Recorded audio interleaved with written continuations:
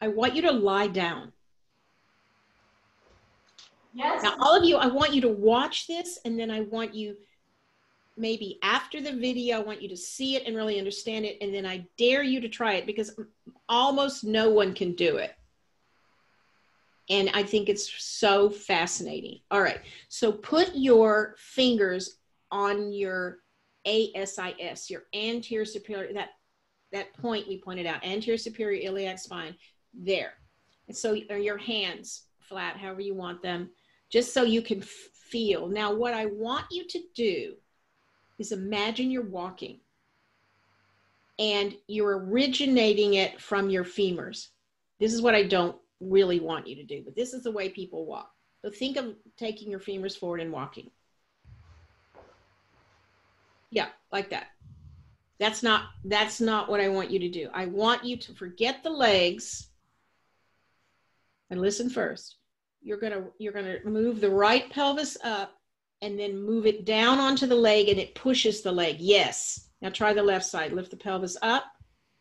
Yeah. Now do it more quickly. Walking. Push the pelvis. Push it, push it, push it, push it, push it, push it. Yes. How does that feel? Jiggly. That's what walking is. Show us one more time and then you're going to walk for us. I know this is so exciting. We're walking. We all think we know how to walk. None of us do. All right. It's it's a slow movement initiated from the pelvis. And I'm guessing that it feels incredibly good on your lower back.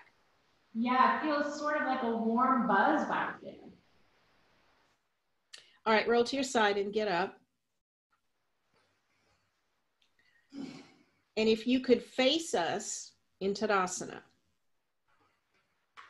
put your hands on the same place that they were before. Take one foot forward to walk. Now, what you do when you do that is you is you have lifted that pelvis up, you have shifted the weight off to your right as you start to come forward, you now shift the weight. Yeah, see that? And now you you you take the left pelvis forward and the leg comes so you lift the pelvis. So actually if these are your hip joints, they're going side to side, forward and back and up and down. And if you put those movements together, they're a figure 8. Okay. Walk around the room for us if you would be so kind. Now, do you notice how soft your walking is? Yeah, I'm not sure I'm doing it right yet. I feel a little bit like I'm doing this. All right, you're not. Let go of your hands. Walk back and forth around your mat. Just pelvis, pelvis, pelvis, pelvis, pelvis. That's all your mantra. Pelvis, pelvis, side to side, pelvis.